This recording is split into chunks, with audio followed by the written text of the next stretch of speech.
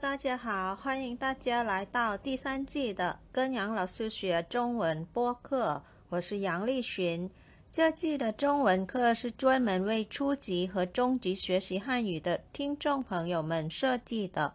初级课程是每周六更新一次，而中级课程是每周日更新一次。Hi everyone, welcome you all to third season of Study Chinese with Teacher Yang podcast. I'm Yang Li Lixun. The Chinese lessons in this season have been especially designed for the Chinese language learners who are the beginner and intermediate levels.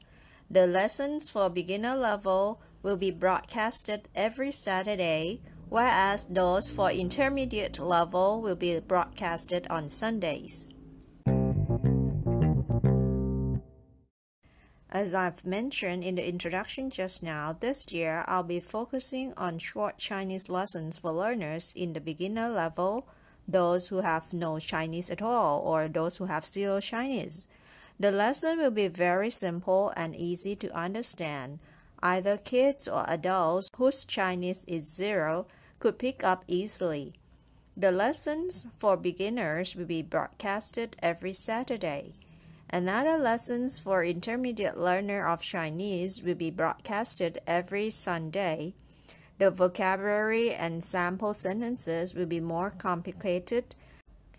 There will be some general knowledge about China included in some episodes as well.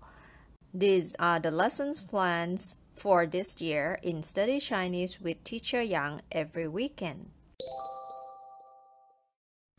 And as usual, there'll be two versions for each lesson, the one in Thai and the one in English.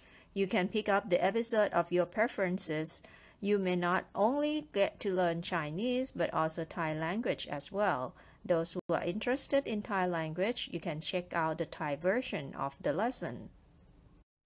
And one more thing that is new in this year, 2023, is the profile picture of this podcast.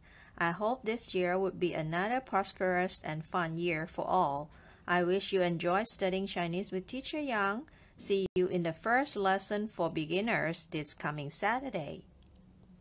Oh, I've come up with the new slogan for this podcast as well. It is 我学习，我聪明，我快乐，Yay! I study, I'm smart, I'm happy, Yay!